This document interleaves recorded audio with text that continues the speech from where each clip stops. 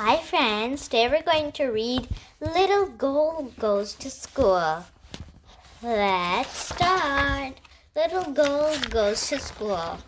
Tomorrow was the first day of school, and Little Ghoul was nervous. Don't worry, my little maggot, her mother said. I'm sure school will just school will be just glassy. Her mom sat with her and explained how horrible the first day of school would be. It made little Ghoul feel a little better. Little Ghoul devoured a bedtime snack. She brushed her teeth with rotten onion flavored toothpaste. She jumped into bed. Her mom slapped her and tenderly said, I hope you have a dreadful nightmares. Little Ghoul was still thinking about school as she closed her eyes and drifted off to sleep. When little Ghoul's eyes popped open, it was morning.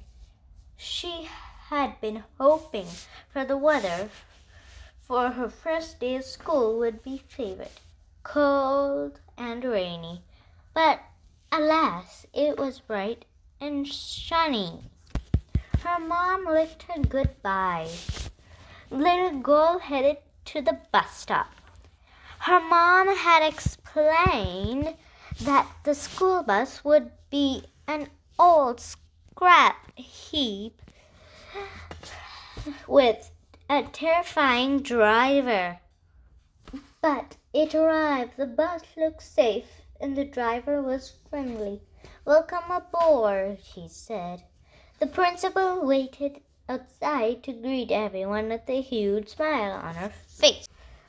Little Ghoul hoped the classroom would be dark and dark and the teacher would be mean. But she was disappointed again. At least lunch would be disgusting. Her mom had promised to pack her favorite. A maggot and brown banana peel sandwich, rotten milk, and a pickle and fishbone cookie for dessert. But inside her lunch box, she found a peanut butter and jelly sandwich. There was even a chocolate chip cookie. Ew. At, the, at this point, little Ghoul was sure that he hated school.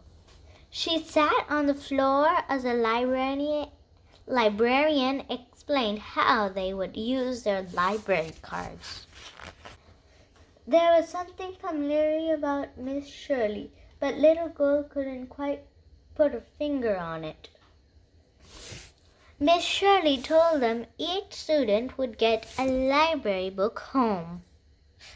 Little Ghoul had hard time choosing. Luckily, Miss Shirley had a suggestion. The frightful guest. Then it was time for art class. Little Ghoul made a mess. She tore paper, she threw paint, she glued scraps of fabric to the torn paper and thrown paint. Wow, said Mr. Reedy, the art teacher. That powerful. I can really feel the energy and emotion in your work. Let's put the student art show. Just when little Ghoul was thinking she might actually survive the first day of school, the unthinkable happened. Hi, said a smiling boy. My name is Ben. Let's be friends. Friends, friends, ghoul don't have friends. Ghoul are too creepy and spooky and spine chilling to have friends. So little Ghoul did the only sensible thing she could think of. She ran away screaming. Little Ghoul was still screaming when she opened her eyes. Mom, I dreamed that I went to school and everyone lies. It was awful. Oh, my little maggot, said her mom. That was just a dream. Now it's time for you to get ready in your real first day of school. Little Ghoul was nervous as she headed to the bus stop. Rumble, rumble. But happily the weather was cold and rainy. The school bus was rusty and filled with unversary creatures. Her teacher was hideous. Slunch was absolutely repulsive. And when she saw the librarian, Miss Shirley, little Ghoul knew everything would be all right. The end. I hope you liked this story. See you in the next video. Bye.